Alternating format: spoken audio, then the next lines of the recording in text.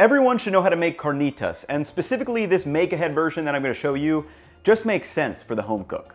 The process is literally cut up pork chunks, add salt, add water, cook until the water evaporates and it's tender, then crisp up beautifully. It takes about an hour and a half total, but like 10 minutes of that is active time.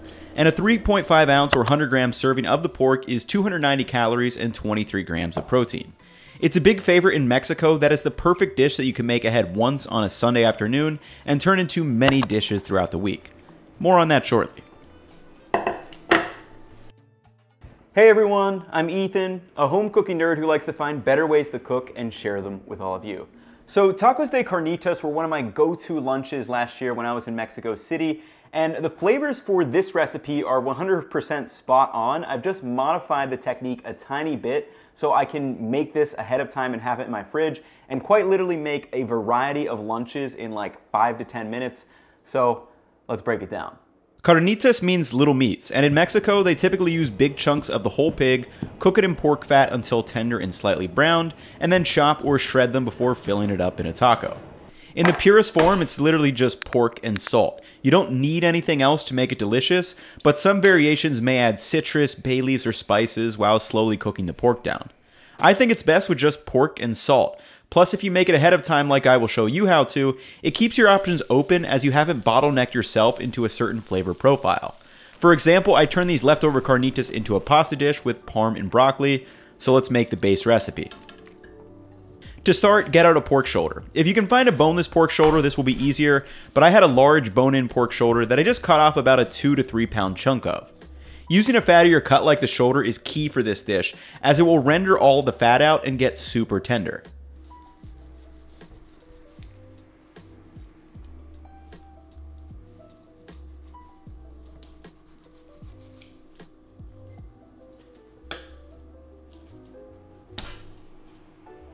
Next, we're going to chop this into roughly 1 inch cubes. Many times if doing a large pig, you would see massive chunks, but for the home cooking recipe, they cook down a bit faster and are easier to handle.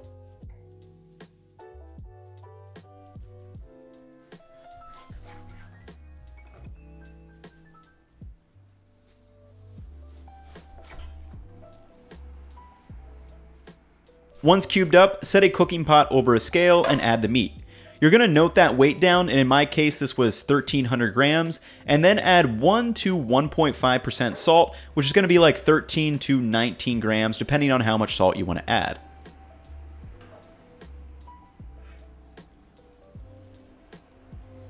Now at the sink, add just enough water so it barely covers the pork. A couple of pieces should definitely still be sticking out. You don't want too much water because then it will take too long to evaporate it all.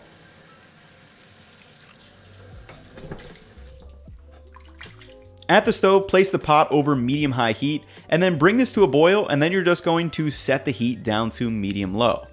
Then while stirring occasionally, we're going to let this cook down until all the water has evaporated. And at this stage, two key things are happening. One, we are slowly braising the pork in the water, and number two, the fat is rendering out. Both of these result in a super tender piece of pork in the final product. Now, this is also the stage that if you did want to add some aromatics or spices, you could definitely do so. After about 45 minutes, I noticed that I kind of added too much water, so I just poured some off. You can definitely do this if you notice it's taking a little bit too long for that all to evaporate, and then just put it back on as normal. Once all that water has completely evaporated, you should be left with a layer of pork fat or lard that will then start to brown the pieces and really turn into those carnitas. At this point though, you have a decision to make. Number one, am I serving this now? Or number two, am I storing this for later? For option one, just keep cooking the pieces of pork in that rendered fat until they are beautifully browned all over and slightly crisp.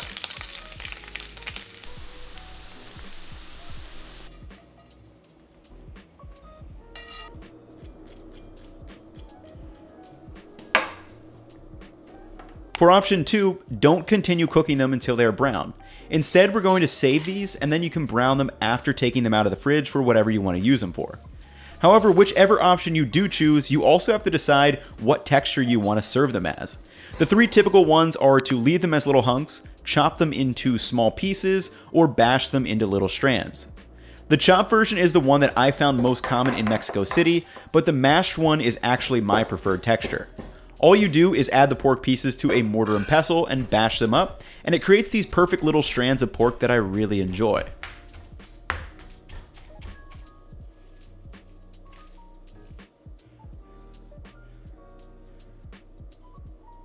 To store the pork, add it to a container and then just pop it in the fridge.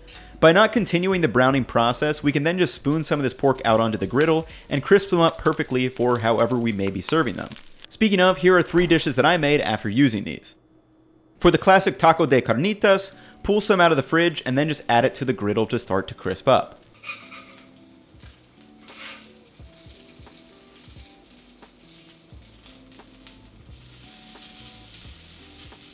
Once that is starting to crisp up, I'll also throw some corn tortillas up to help steam and crisp them up.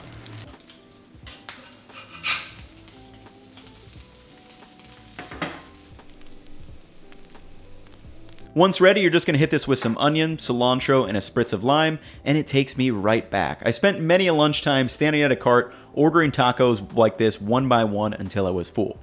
Alright, now for some more untraditional uses. So with carnitas, we kind of have this variant of pulled pork. So I took out some of the leftovers and then just propped them on the griddle and let them get nice and crispy.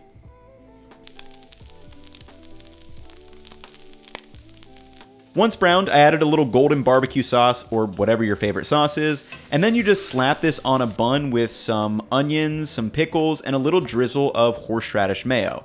It takes all of 5 minutes to make and is oh so delicious.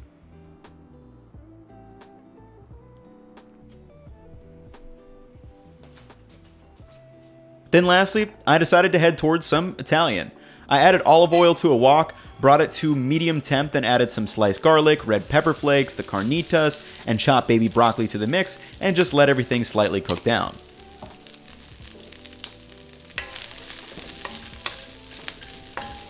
Once cooked down and aromatic, I poured in some starchy pasta water and mixed in a bunch of Parmesan to kind of create a sauce for the pasta.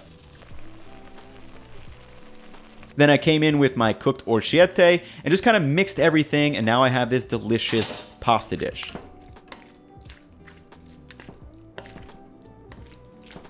One sauce to your liking, just toss it in a bowl, maybe hit it with a little bit more parm over top, and there we have some Italian pasta that was inspired by Mexican roots. So no matter how you end up using your carnitas, uh, you just got to make them like you can have meals like this in you know minutes, or it's great for a crowd if you want to make it ahead of time. So hopefully you guys have enjoyed the video. This sandwich is kind of blowing my mind with how good it is right now. I'll catch you all in the next one. Peace.